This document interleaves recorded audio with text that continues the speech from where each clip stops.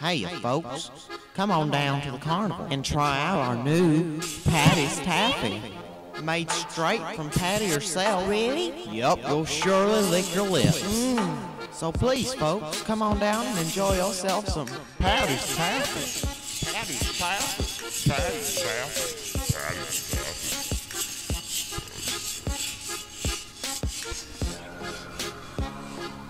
woman on stilts.